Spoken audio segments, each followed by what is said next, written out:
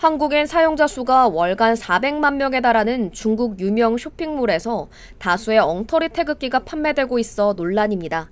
건곤감리, 사교의 위치가 이게 맞나요? 제멋대로 아무렇게나 갖다 붙인 것 같죠? 서경덕 성신여대 교수가 최근 자신의 소셜미디어에 공개한 태극기 모습입니다. 서 교수는 3일절 연휴 내내 태극기와 관련한 오류 제보를 받았다며 대부분의 한국인들도 많이 이용하는 중국의 유명 온라인 쇼핑몰 테무에서 발견됐다고 전했는데요. 한 나라의 국기를 판매하는데 엉터리 디자인을 방치하고 제재하지 않는 것은 소비자들을 기만하는 행위라고 서 교수는 비판했습니다.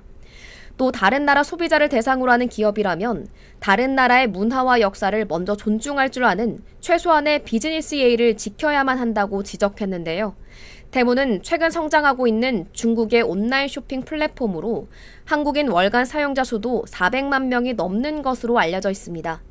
서 교수는 국내 소비자는 물론 해외 소비자도 엉터리 태극기를 무심코 구매할 수 있다는 점에서 큰 문제가 될 수 있다며 엉터리 태극기를 보게 되면 쇼핑몰 측에 항의 메일을 보내는 등 현명한 소비가 필요한 시점이라고 강조했습니다.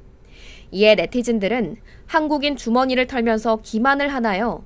애초에 저기서 제대로 된 물건을 팔기는 하나 딴 말이지만 뭐가 잘못된 건지 모르는 사람도 있을 듯 등의 반응을 보였습니다.